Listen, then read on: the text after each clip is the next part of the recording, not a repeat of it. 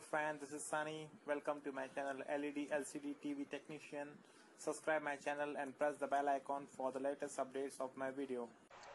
Hello friend this is Sunny welcome to my channel LED LCD TV technician hope आपको मेरे videos पसंद आते होंगे और इस वीडियो में क्या है इस वीडियो में मेरे पास एक ये डीसी पावर सप्लाई है जायोजिन DC S thirty five D इस डीसी पावर सप्लाई के अंदर जो है thirty five D means thirty volt five ampere तक ये सपोर्ट करता है।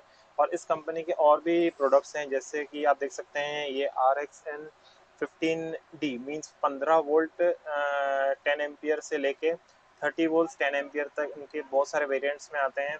मैंने अभी मंगवाया है थर्टी वोल्ट फाइव एम्पियर तक। ओके okay, फ्रेंड्स और चलिए हम देखते हैं अभी इसमें क्या क्या है। मैंने जैसे इसको पावर सप्लाई ऑन किया। ये आप देखेंगे वोल्टेज का है। इससे आपका वोल्टेज कम ज़्यादा करने के लिए प्लस ये फाइन मतलब voltage plus fine one volt plus minus करने के लिए। और ये है करंट का करंट में एम्पियर सेट करने के लिए। ये आपको इसमें तकरीबन फाइव एम्पियर तक सेट होता है। ये भी वही है coarse means main ampere set करने का और फाइन मिनिमम वोल्टेज। और इसमें ये कि एक मॉडुलर स्विच लगा हुआ है बीच में, और इस मॉडुलर स्विच में आपका low low ampere minimum one ampere से कम में मतलब मिली एम्पियर सेट करने के लिए लो आप नीचे कीजिए, लो मिली एम्पियर सेट होगा, और ऊपर करेंगे तो high means ampere one, two लेके, वन से लेके फाइव एम्पियर तक सेट करने के लिए। अभी मैंने एट वोल्ट सेट किया है।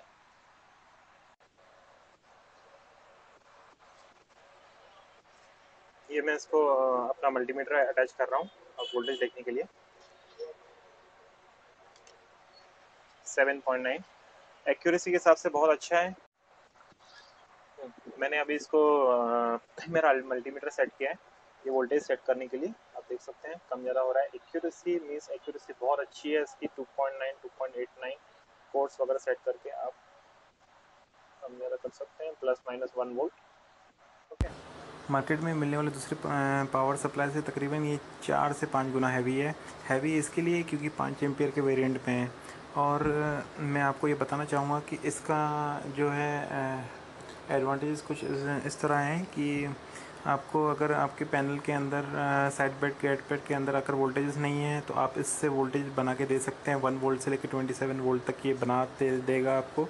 और वोल्टेजेस आप डायरेक्ट साइड गेट पे, पे दीजिए या स्केलर पीसीबी के अंदर आपके आईसी में से वोल्टेजेस नहीं बनते तो वहाँ पे भी आप दीजिए आपके वहाँ पे भी वोल्टेज बना के सामने प्रोड्यूस कर देगा। कभी कभी मदरबोर्ड के अंदर आईसी के अंदर आपके 3.3 पॉइंट वोल्ट्स नहीं बनते तो आप वहाँ पे भी दे सकते हैं। चेकिंग के हिसाब से आप सही रहता है और अब शॉर्टिंग मेन इसका एडवांटेज इसका ये है कि इसके अंदर शॉर्टिंग का मतलब शॉर्ट रहा कोई मदरबोर्ड तो इसका प्रोटेक्शन सर्किट इसका इतना अच्छा वो बना हुआ है कि पूरा कोप अप कर लेगा आपका जो भी शॉर्टिंग रहा। जो भी शॉर्टिंग रहा मतलब आपके जैसे कि आपके मदरबोर्ड के अंदर कोई आईसी शॉर्ट है। तो हमको पता नहीं रहता कि कौन सी आईसी शॉर्ट है। तो इस कंडीशन में आप 3.3 अगर वोल्ट देंगे और एम्पियर बढ़ाते जाएँगे, आपको अगर ट्रैक के ऊपर पीएफ भी शॉर्ट रहेगा तो पीएफ जल जाएगा। आईसी शॉर्ट रहेगी आईसी गर्म हो जाएगी। इस कंडीशन में ये बहुत अच्छा है। और कई बार हमारी जो स्केलर पीसीबी रहती हैं, जैसे कि आपको ये मैं बताना चाहूँगा, ये मेरे पास एक स्केलर पीसीबी है।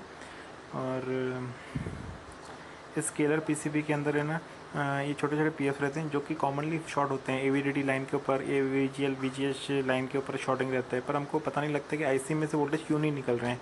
या कॉफ शॉर्ट है, पता नहीं लगता है। तो फॉर एग्ज़ाम्पल अगर A V D D fifteen volts रहते हैं और उसके लाइन के अंदर आपको फिफ्टीन वोल्ट्स बन नहीं रहे हैं, उसका आपको देखना है पी एफ़ शॉर्ट है कि आई सी शॉर्ट है तो इस कंडीशन में आप ए वी डी डी के ऊपर पंद्रह वोल्ट दे दीजिए, पंद्रह वोल्ट दे के आप एम्पियर जस्ट बढ़ाते जाइए। अगर पी एफ़ शॉर्ट है तो पी एफ़ काला हो जाएगा आई सी शॉर्ट है तो आई सी गर्म होकर पता लग जाएगा आपको क्या प्रॉब्लम है। फ्रेंड्स बोर्ड में कैसे शॉर्टिंग होती है, आपको डेमो देते हैं। फ्रेंड्स अभी ये डेमो दिखाऊँगा। ये मेरे पास 3.3 ओम्स का रेजिस्टेंस है। शायद कैमरा जूम कर ले, अच्छे से आपको दिख जाए। 3.3 ओम्स का रेजिस्टेंस है।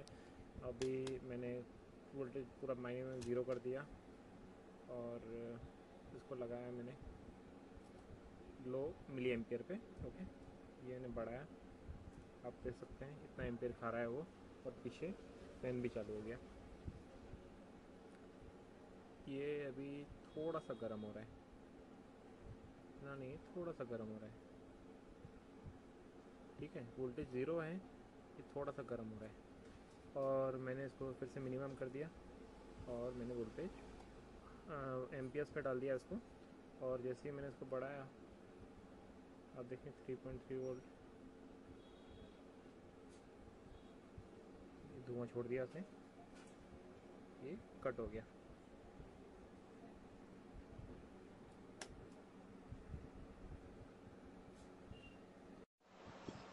देखा फ्रेंड्स आपने नाइन वोल्ट के ऊपर ये और ये मैंने अभी तक जस्ट इतना घुमाया है ऑलमोस्ट 30 परसेंट घुमाया है और इसने इस रेजिस्टेंस को जला दिया। ओके फ्रेंड्स ये मैंने मतलब दिखाने के लिए था कि अगर कोई शॉर्टिंग हो तो हम कैसे निकाल सकते हैं।